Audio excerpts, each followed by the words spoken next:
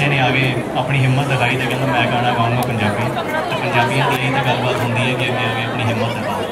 ਤੇ ਤਾੜੀਆਂ ਨਾਲ ਇਹਦਾ ਸਵਾਗਤ ਕਰੋ, ਬੱਚੇ ਦੀ ਹੌਸਲਾ ਅਫਜ਼ਾਈ ਕਰੋ ਤੇ ਗਾਣਾ ਪੇਸ਼ ਕਰੇ ਜਸਵੀਰ ਪੰਜਾਬੀ ਸੰਗੀਤ ਅਸਲੇ ਦੀ ਨੋਟ ਕੋਈ ਨਾ